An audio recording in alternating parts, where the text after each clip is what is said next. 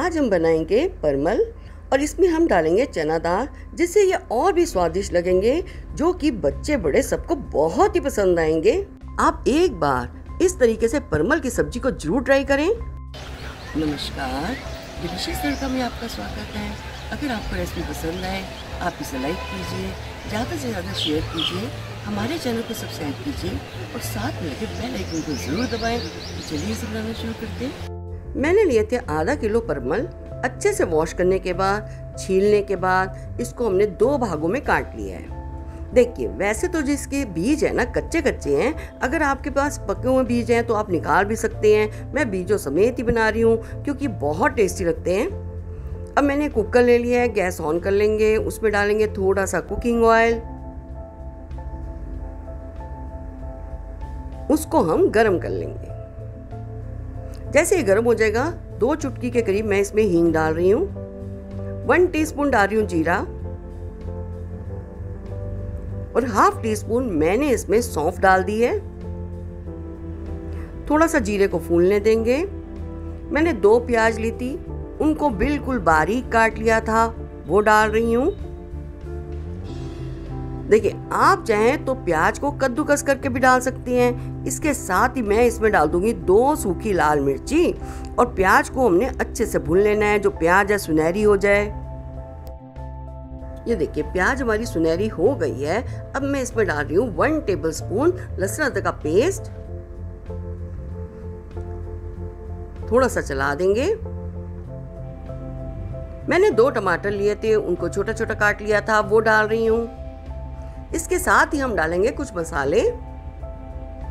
Half tea spoon मैं इसमें हल्दी पाउडर डाल रही हूँ। नमक आप स्वाद अनुसार डालें, मैं वन टीस्पून नमक डाल रही हूँ। और हमेशा की तरह मैं इसमें वन टीस्पून लाल मिर्ची पाउडर डाल रही हूँ, वो भी कम तीखी वाली। आप चाहे तो दूसरी वाली भी डाल सकते हैं। और वन टीस्पून डाल रही हूँ मैं इसमें धनिया पाउडर। अच्छे से मसालों को हमने मिक्स करना है और टमाटर को थोड़ा सा सॉफ्ट कर लेना है। मैंने ली थी चना दाल। मैंने आधा कप के करीब चना दाल ली थी। अच्छे से वॉश करने के बाद इसको मैंने दो घंटे के लिए भिगो दिया था।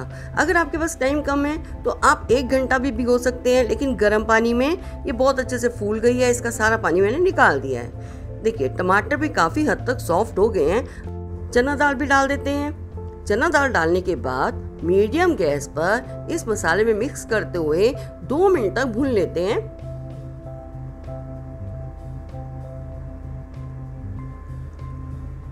अब इसमें परमल भी डाल देते हैं।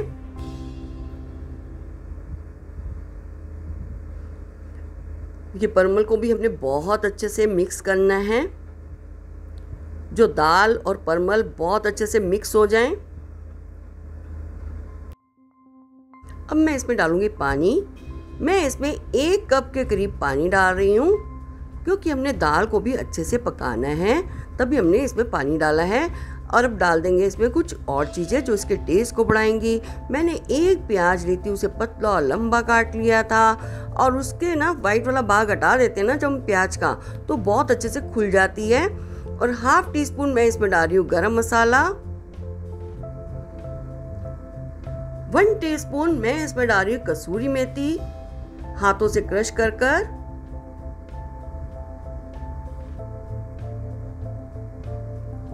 अच्छे से मिक्स कर दें।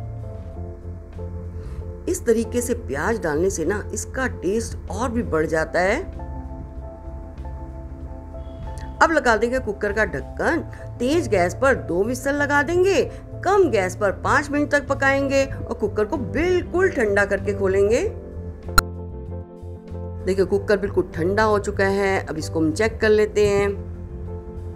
देखिए, वैसे तो देखने से ही आपको लग रहा होगा सब चीज़ें बहुत अच्छे से पक चुकी हैं, लेकिन हम सबसे पहले चना दाल को चेक कर लेते हैं। ये देखिए, बहुत अच्छे से गल चुकी है। अब परमल भी मैं आपको दिखाती हूँ। ये देखिए, ये भी बहुत अच्छे से गल चुके हैं। ये बनकर तैयार है। अब डाल देते हैं बारीक कटा हुआ हरा धनिया। आप एक बार चना दाल परमल की रेसिपी को ज़रूर ट्राई करें, जिसे आप लंच बॉक्स में भी दे सकते हैं। इसमें हमने ज़्यादा ग्रेवी नहीं रखी है। ये चपाती, परौंठे, चावल सभी के साथ अच्छी लगेगी और कमेंट्स करके ज़रूर बताएँ, आपको रेसिपी कैसी लगी? धन्यवाद।